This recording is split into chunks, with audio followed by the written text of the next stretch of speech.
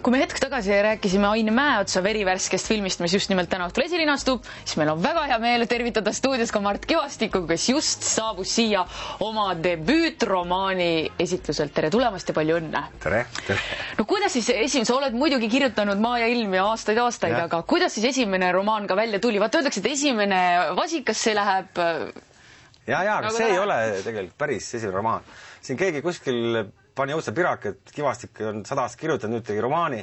mul teine Palun õnnelikuks oli peaaegu romaan ja Varblane ka romaan, aga, aga ma arvan, et sellega läks päris hästi, sest mulle endale kuidagi hea, hea tunne siis. mis asi sul selle Vietnamiga on, sest et sa oled ju ka selle intervjuu, väga palju intervjuusid juba andnud seoses selle raamatuga ja sa oled igal pool öelnud, et Vietnam, see on mu suur kirg. ei lihtsalt, kuna, kuna, kui ma esimest korda läksin Vietnami, ma arvan, see oli viis aastat tagasi, siis ma ei osanud mitte midagi oodata, ma olin küll kuulnud, et on, et on seal on tore ja vägev, aga, aga et see, see, mis seal oli, see oli minu jaoks niivõrd võimalik, nagu mul oleks teine kodu.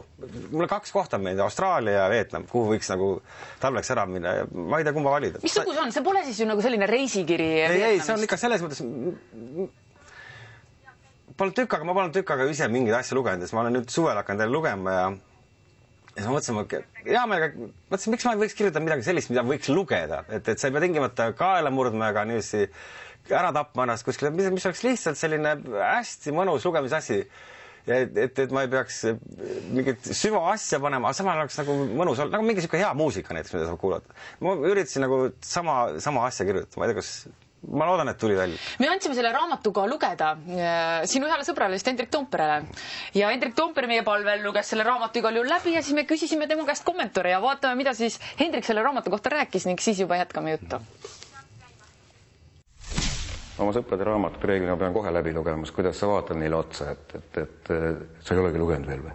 ja raamat oli minu jaoks oli ausalt öeldes noh, selline üllatav ja üllatus seisneb nagu selles, et no Marti me üldiselt nagu tunneme novellistina ja, ja draamakirjanikuna, et, et nüüd on võtnud kätte romaani kirjutanud.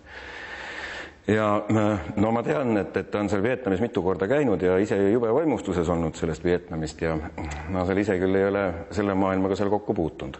ja siis ma noh, kujutasin endale juba ette, et tundes nagu Marti ja kõik seda tema vaimustust ja kirglikkust, et oh, seal selles nüüd ma saan nagu Vietnami kohta nii palju teada, ma teen selle reisu läbi. ja ma olin oma peas valmis pununud juba noh, mingisuguse nagu süžee äh, valmis. täitsa üllatav oli minu jaoks see, et, et Mart ei rääkinudki nii-öelda nagu enda positsiooni pealt üldse no tuleb välja, et, et, et üle viiekümne aastane kirjanik, meesterahvas, äkki kirjutab noortest raamatu kahekümne ühe aastasest poisist ja tema armuseiklusest äh, Vietnamis. nii et, et selles mõttes pakkus see raamat mulle nagu paraja üllatuse, ma tükk aega nagu juurdlesin selle üle, et, et nagu huvitav, miks tal seda nagu vaja oli teha, noh, õieti see raamat on ka niimoodi, et ta on noh, ta on venitanud novelli kolmesaja lehekülje peale, aga päris põnevalt.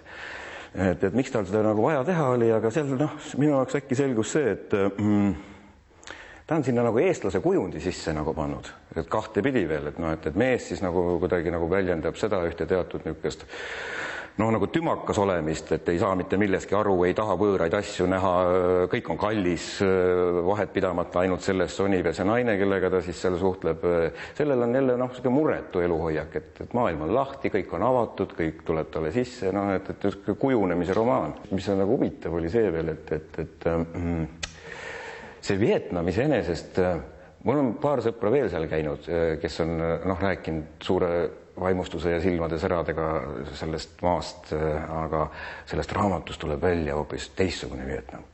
et ta on niisugune vihmane ja kõle ja natukene vaenulik ja et, et tal on noh, mingisugused sellised nagu, nagu ohud on nagu kogu aeg sees, et, et et noh, filmi saaks küll tal on sellist Hemingwaylikku kergust ja niisugust nagu story telling ut on sees palju, et tal on ainest küll, jah. Kuskil seal raamatu lõpupoole seal hakkab nagu välja joonistuma üks selline noh, huvitav telg, läbi mille tegelikult tasubki seda romaani lugeda ja see telg on see, et, et seal ta räägib pidevalt sellest, kuidas inimene ei tohiks ära kaotada oma inimlikku palet. ühesõnaga, ta peab kuidagi nagu kontrollima ennast, et ei, ei saa lasta noh, emotsioonidel üle voolata, noh, plahvatuslikult välja paiskuda, oma negativismi, oma noh, selliseid nagu kehvemaid külgi ei tohi nagu neid peab kontrollima kuidagi nagu aheldama, et just nimelt oma inimlikku palet ei tohi nagu kaotada.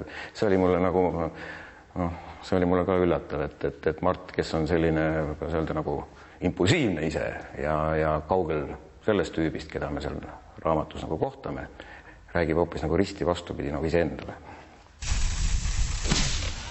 no mis sa arvad siis sõbra kommentaarist? ei, ei, Hendrikut on põnev kuulata, ma ei pea kõigega nõus olema, mis ta räägib, aga see, see, see näo kaotamise asi mulle ma ise kasvasin ka selles mõttes ümber, seal ma käisin mitu korda, ma seal vahepeal, seal on sada asja, mille peale vihastada. kohati seal on ikka selline Nõukogude Liit nagu bussiliiklus või ükstapuha, kui sa loodad, et, et miski asi seal toimib nagu, nagu peaks, ega ei pruugi ja siis, kui hakkad seal käratsema ja mingit oma õigust tagasi jõudma, siis see ei lähe läbi, et sa kuidagi niiviisi paha, no sellest ei kasu. Nad lihtsalt vaikivad ja et see selline, et, et, et mõtle, kannata ära ja katsu oma asjad ära seletada, aga sellest mingit niisugust lärmamisest ja, ja, ja see oma, ühesõnaga see niisugune endast välja minemine, see on niisugune lootusetu asi. ole, käitu normaalselt, siis saadakse su asju ajada, siis sa saad asjad korda. Et tegelikult on, et selle Vietnami sees on mitu Vietnami, oleneb, kuidas seda vaatad, et, et see on see hall ja siis on see päikseline, et aga lõpuks mina leidsin küll selle päikselise Vietnami üles on see tegevus ainu, ainuvõimalik Vietnamis, mis siin raamatus toimub? ei, ei ole, aga mul oli kahju, millest mul oli kahju, et, et ma, kui ma, ma ikka sõitsin seal ülevalt Hanoist alla sinna äh, Saigoni välja äh, bussiga ja paras kannatamine, aga see sleeping bus on tehtud Vietnami mõõtude järgi, niiviisi, et tüdrukud mahuvad ära, aga mehed on kuidagi kõik seal niiviisi nagu kronksus sees ja mina ei maganud ühte sekundit ka seal. ja siis ma olin päris räsitud, aga, aga millest mul oli kahju, et seal on terve maailm on koos, et, et sa näed hispaanlasi, austraallasi, palju on austraallasi, neil on lähedal tulla niiviisi õlutama sinna. et, et kogu see kamp sõidab siis ülevalt alla, vahepeal on bussides koos, vahepeal on ta hotellides kuskil nendes igas noh, backpackeride kohad on odavad ja suht korralikud, kus saab olla. see on nagu selline üle maailma, noh, selles mõttes nagu õmm või õue, kus kõik saavad kokku, et see on jõle kihvt. et mul on jube kahju, et ma ei ole kakskümmend, sest mina praegu mõtleks, ma oleks sammutaks kolm korda sealt ülevalt alla. sest nii palju, kui sa näed teisi inimesi ja samal ajal, kui sa näed Vietnamit, see on noh, see on uskumatult äh, põnev. aga ma ei näinud ühtegi eestlast ja ma ja nägin ühte soomlast, kes oli koos isaga tulnud äh, Nha Changi, isa, nad olid Saigoni võtnud pileti ja siis tulid korraks Nha Changi.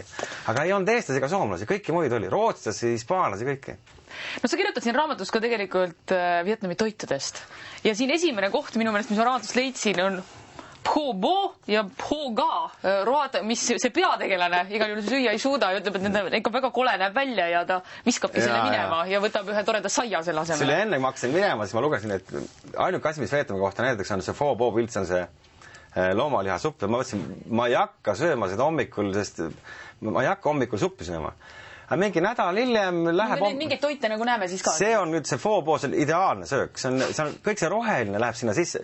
see on näiteks kõik, kes on mingid vegetariaanid või need elavad seal kuldselt, sellepärast et nad teevad igasuguse, see on see nüüd see kleipot, savipoti asjad.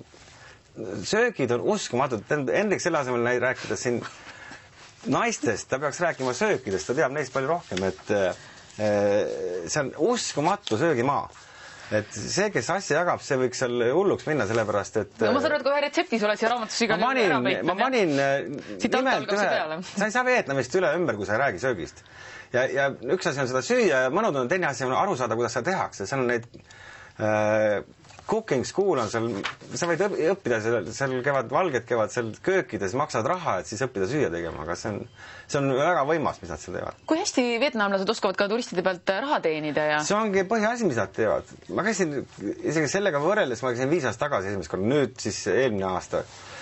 Vietnam on nii muutunud, väga sarnane Eestiga, et nende ajalugu on juba sarnane, et neil olid hiinlased, meil olid venelased ja siiamaani on neil natuke hiinlasi ja siiamaani on meil meie venelased alles ja, aga siis prantslased tulid sisse pärast Napool-, umbes Napoleoni ajal. nagu meil ja meile tuli see saksa asi ja, ja prantslased muutusid üsna palju neid, kogu seda kultuuri ja nende tähestikku, noh, kõik Hiina tähestiku asemel tuli, tuli ladinamaa, muidugi ta oli muu, noh, Vietnami peale ümber tehtud et see, kuna see Eesti ja Vietnami ajalugu on nii sarnane, et, et sa tunned Vietnamis kogu aeg selle Eesti asja ära. ja see, kuidas nad praegu nüüd äh, üritavad nagu kõigest hingest, nad üritavadki raha teenida ja ehitavad uusi maju ja ja see punnitamine kõrvalt on päris äh, naljaks, aga me oleme samasugused, et, et nii ja naa, midagi teha, neid on sada miljonit, meid on üks, see vahe on, aga muidu väga sarnased äh, ajalood. on sul pilet juba ostetud? ei ole veel, aga kangesti, kangesti tahaks minna. aitäh, aga niisiis Mart Kivastiku Vietnami rets-, ma ei tea, miks see retsept seda raamatu pealkirja kannab. no ma järgmine kord räägin, see on siuke pikk lugu, ma tükk aega mõtlesin seda pealkirja, aga see on siuke nagu siuke õnnelikuks saamise retsept. suurepärane, see aitäh. film ka, ärge minema, ma ma kuulsin, et te polnud näinud, ma tõin selle filmi teile ma olen kaasa. väga näinud, minu meelest üks mu sõber on üks parimaid filme, mis Eestis viimaste aastate jooksul tehtud, sinu esimene film siis. Millal tuleb järgmine täispikk? no kohe, kui ERSA annab mulle raha, me peame ootama seal tükk aega. no aga loodame, et see nii palju ei lähe. aitäh okay., Mart, igale tulemast ja palju õnne veel esimese raamatu puhul.